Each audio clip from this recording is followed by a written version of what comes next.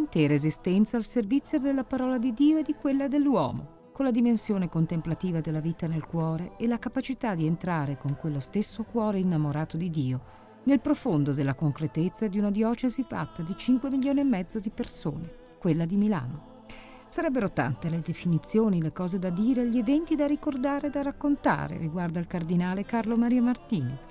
Nato il 15 febbraio 1927 a Torino, secondogenito di una famiglia di solide tradizioni piemontesi, Carlo Martini, fin da giovanissimo, è un brillante studente durante la guerra presso il Collegio dei Gesuiti, comprende la sua strada, che sarà darsi per intero al Signore, anch'egli come padre gesuita. Il 13 luglio 1952, infatti, a Chieri è ordinato sacerdote. Biblista, rettore della prestigiosa Università Gregoriana, noto a livello internazionale per i suoi studi, è un predicatore amato da Paolo VI e poi da Giovanni Paolo II e sarà proprio Papa Voitiva a volerlo pastore della grande e complessa Chiesa ambrosiana. Il 29 dicembre 1979 è eletto arcivescovo di Milano, ordinato vescovo circa una settimana dopo, cardinale nel 1983, siederà su quella cattedra di Ambrogio e Carlo, da cui guiderà la diocesi per oltre 22 anni. In tanti momenti non facili, dal 10 febbraio 1980, giorno del suo ingresso solenne in diocesi, compiuto a piedi in una Milano fredda e piovosa con il solo Vangelo in mano, un'immagine per molti indimenticabile, fino all'11 luglio 2002, quando rinuncia per raggiunti limiti di età.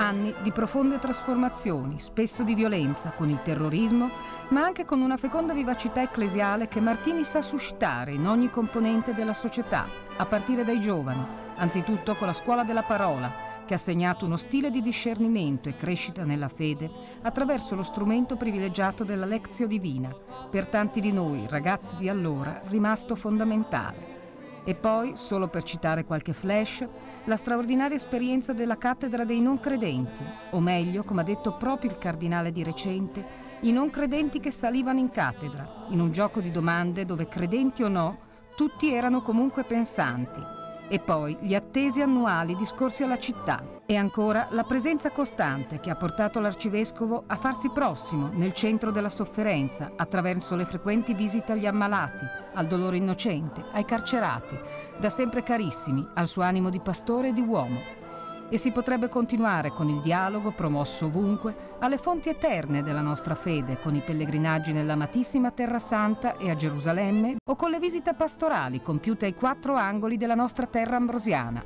o incidendo all'interno della stessa struttura ecclesiale, con la grande assemblea del 47 Sinodo della nostra diocesi. Attività condotte con coraggio e forza, pro veritate adversa diligere, come recita non a caso il suo motto episcopale, senza dimenticare mai il confronto esterno, realizzato attraverso l'ecumenismo, il dialogo interreligioso, in primis con la comunità ebraica e poi con quella musulmana. E allora tornano alla mente le sue lettere pastorali, dalla prima che spesso Martini ama ricordare, appunto la dimensione contemplativa della vita, un programma e un progetto essenziali per ripartire da Dio e non avere paura divenuti realtà di un popolo in cammino nelle tante difficoltà della vita umana, ma con gli occhi rivolti all'unica certezza, il Signore, come il cardinale ha detto nel silenzio in Duomo, quando circondato da tantissimi sacerdoti e idealmente da tutti gli ambrosiani, è tornato a Milano per festeggiare il suo venticinquesimo di episcopato.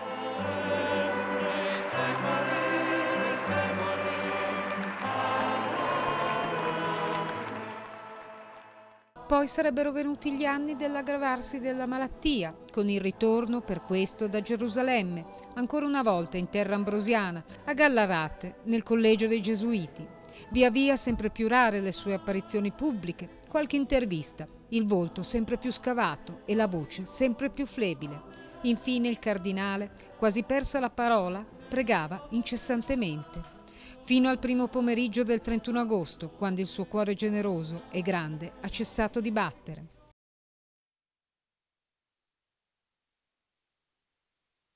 Il primo settembre Carlo Maria Martini, circondato ancora una volta dall'affetto della città intera, riunita sul sagrato dapprima la bara accolta e benedetta dal cardinale Scola, poi in Duomo per la Camera Ardente, persone semplici e note in fila per una preghiera e un ultimo saluto, al feretro, posto a pochi metri da quella che per 22 anni e 4 mesi fu la sua cattedra di pastore amato, indimenticato e indimenticabile di Milano. gigante della fede, maestro della parola, studioso insigne, uomo e prete, semplice, di Dio, la definizione che di sé più amava.